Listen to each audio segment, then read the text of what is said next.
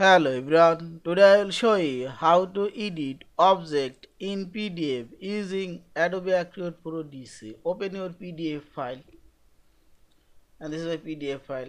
Firstly I will edit this image. Select this tools option and select here edit PDF option. Now click on this image and select. You can increase decrease this image size. Also you can move anywhere and click right button for properties. Here you can replace this image. You can crop also you can flip horizontal vertical.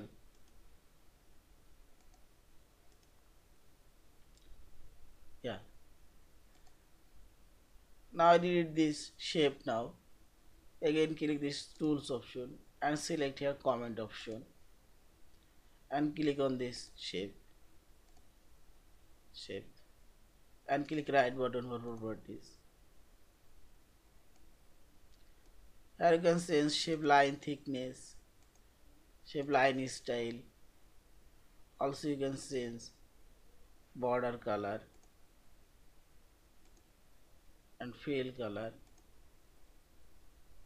Yeah. And in case decrease shape size yeah now I'll edit this stump now and click right button. Here you can delete or increase decrease this stump size or move rotate. Yeah. This is. Thank you for watching. Please subscribe like share and comment